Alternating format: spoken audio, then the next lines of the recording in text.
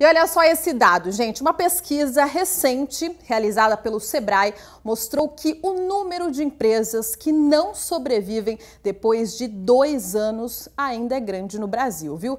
Por isso, se você está pensando em empreender, é bom prestar atenção nas dicas do Sebrae. Bianca está animada. Ela é farmacêutica de formação, mas há quatro meses decidiu mudar de ramo. Escolheu o empreendedorismo na área de alimentação.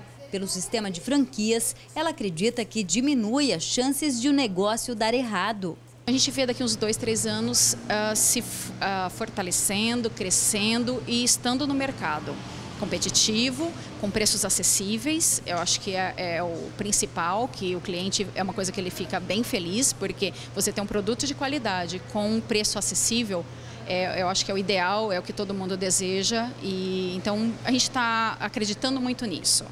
Como a empresária, muitas outras pessoas no Brasil procuram no empreendedorismo uma oportunidade de ter o próprio negócio. O problema é que muitas vezes a falta de planejamento e capacitação comprometem o sucesso da empresa.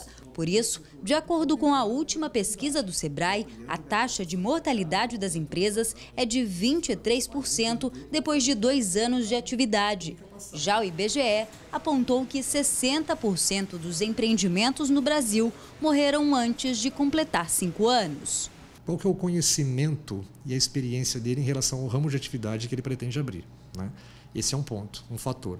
Outro fator preponderante é a questão do planejamento. Quanto tempo de fato eu me dedico a planejar a abertura dessa empresa? É fundamental que eu faça um bom planejamento, que eu faça uma boa análise de mercado, que eu conheça a estrutura mínima necessária para essa empresa funcionar e conseguir atender às necessidades desse mercado.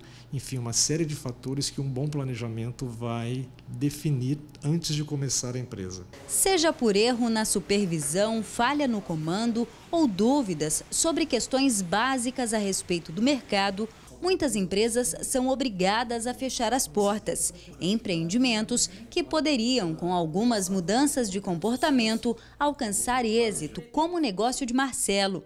Há 25 anos, ele desenvolveu o primeiro software na área médica. Hoje comanda uma das mais importantes companhias do setor no Brasil. Eu acho que o segredo de a gente manter uma, uma organização né, que, que seja longeva, né, é você realmente olhar para o mercado. Porque quem ditam as regras são os mercados. É o mercado. Então, aquilo que você realmente foca e para atender aqueles princípios básicos que você começou. Um dos segredos para ser bem sucedido é também a forma como o patrão trata o funcionário.